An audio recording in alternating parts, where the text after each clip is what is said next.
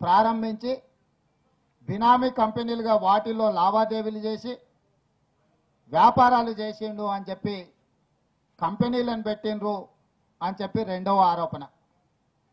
మూడవది ఇతర దేశాలలో ముఖ్యంగా హాంకాంగ్ మలేషియాలో రేవంత్ రెడ్డి ఖాతాలు తెరిచి కోట్ల రూపాయల లావాదేవీలు చేసిండు ఆస్తులు కొనుగోలు చేసిండు అమ్మకాలు చేసిండు అని మూడవ ఆరోపణ. నాలుగవది బినామీ ఆస్తులు ఉన్నాయని. నాకు అర్థమైనంత వరకు పాత్రికేయ మిత్రులకు కూడా ఇంకేమైనా ఉంటే మీరు ప్రశ్నల సందర్భంలో అడగవచ్చు ఈ నాలుగిటికి సంబంధించి కొంత వివరంగా వివరించదలుచుకున్నా. రెండు వేల తొమ్మిది కంటే ముందు కూడా నేను రెండు వేల ఏడులో శాసన మండలికి ఎన్నికైన. ఆ రోజు కూడా నేను ఆస్తులు ప్రకటించిన. రెండు వేల ఏడు శాసన మండలి సభ్యుడిగా ఎన్నికైనప్పుడు కానీ రెండు వేల తొమ్మిదిలో ఎన్నికైనప్పుడు కానీ ఏవైతే ఆస్తులు ప్రకటించినో ఆస్తులకు సంబంధించి ఆనాడు ఎన్నికల అఫిడవిట్లో నేను పొందుపరిచింది మేము కొనుగోలు చేసినప్పుడు సబ్ రిజిస్ట్రార్లో రిజిస్ట్రేషన్ చేసిన దస్తావేజులో ఉన్న విలువలను మాత్రమే ఆ ఎన్నికల అఫిడవిట్లో ప్రస్తావించడం జరిగింది. రెండు వేల పద్నాలుగు ఎన్నికలకు వచ్చే వరకు కేంద్ర ఎన్నికల సంఘం మార్కెట్ విలువను పొందుపరచమన్నారు. కాబట్టి ఆనాడు బంజారా హిల్స్లో ఉన్న ఇంటి విలువ కొనుగోలు చేసినప్పుడు ఇరవై ఇరవై ఐదేళ్ళ కింద కొనుగోలు చేసినప్పుడు వాటి విలువ ఇరవై ఐదు ముప్పై లక్షలు ఉంటే రెండు వేల పద్నాలుగులో మార్కెట్ విలువను పొందుపరచాల్సి వచ్చినప్పుడు అది కోట్లలకు పోయింది. అదేవిధంగా ఇప్పుడు ఇక్కడ నివసిస్తున్న ఇల్లు. ఇది నా కుటుంబ సభ్యులు తొంభై రెండులో తొంభై మూడులోనో కొనుగోలు చేసింది. ముప్పై సంవత్సరాల కంటే ముందు కొనుగోలు చేసినప్పుడు సబ్ రిజిస్ట్రార్లో రిజిస్ట్రేషన్ చేసిన దస్తావేజులో ఏం విలువ ఉందో జూబ్లీ హిల్స్ ప్లాట్ విలువ రెండు వేల తొమ్మిదిలో ప్రకటించినాం. ఆనాడు ఇల్లు నిర్మాణం జరగలే. కానీ రెండు వేల పద్నాలుగుకి వచ్చే వరకల్లా బ్యాంకు ద్వారా లోన్లు తీసుకోవడమే కాకుండా ఇల్లు నిర్మాణం ప్రారంభమై పూర్తి కావాల్సి వచ్చింది కాబట్టి ఆనాడు మార్కెట్ విలువను అందులో పొందుపరచడం జరిగింది. ఇదే విధంగా విజయవాడ హైవేలో ఉన్న ప్రాపర్టీ అగ్రికల్చర్ ల్యాండ్ అయినా గోపన్పల్లిలో ఉన్న వ్యవసాయ భూమి అయినా కోకపేట మంచిరేవులలో ఉన్న భూమి అయినా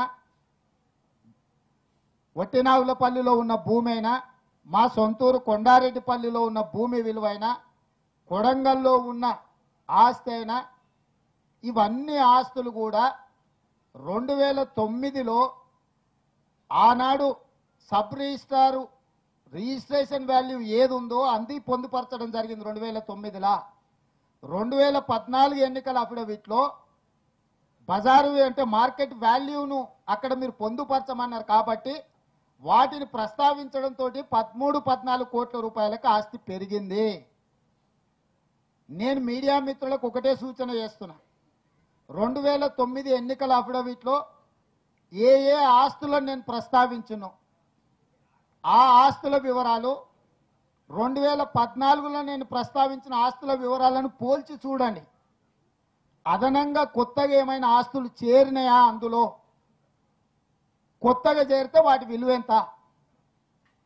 నాకు తెలిసినంత వరకు నా దగ్గర ఇప్పుడు ఎన్నికల అఫిడవిట్ ఇక్కడ మీకు చూపించడానికి లేకపోవచ్చు. మీరు ఎన్నికల అఫిడవిట్ పబ్లిక్ డాక్యుమెంటు మీరు కావాలంటే ఆ వెబ్సైట్లోకి వెళ్ళి చూడండి.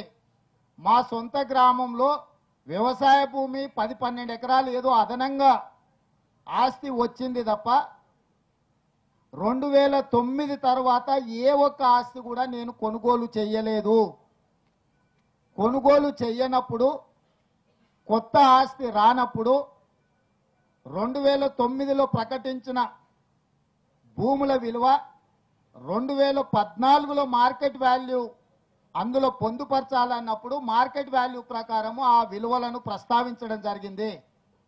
రేపు రెండు వేల పంతొమ్మిదిలో మళ్ళీ ప్రస్తావించాల్సి వస్తే పద్నాలుగులో ప్రస్తావించిన పద్నాలుగు కోట్ల కంటే కూడా ఈ రోజు మార్కెట్ వాల్యూ ముప్పై కోట్లు కూడా అయి ఉండొచ్చు.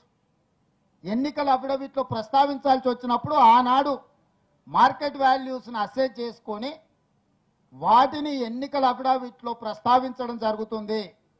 కాబట్టి చంద్రశేఖరరావు గారు కానీ ఆయన కుటుంబ సభ్యులు కానీ ఆయన దొడ్లో బతుకుతున్న జీవాలు కానీ అర్థం చేసుకోవాల్సింది ఈ రెండు ఎన్నికల అఫిడావిట్లను పక్కన పక్కన పెట్టుకొని రేవంత్ రెడ్డి ఎమ్మెల్యే కాకంటే ముందు ఉన్న ఆస్తులకు రెండు సార్లు ఎమ్మెల్యే అయిన తర్వాత ఏమైనా ఆస్తులు పెరిగినాయని ఒక విశ్లేషిస్తే ఖచ్చితంగా తెలంగాణ సమాజానికి సంపూర్ణమైన సమాచారం ఇచ్చిన వాళ్ళు అవుతారు. వాళ్ళు మా రాజకీయ ప్రత్యర్థులు కాబట్టి ఈ ప్రయత్నం వాళ్ళు ఎలాగూ చేయరు.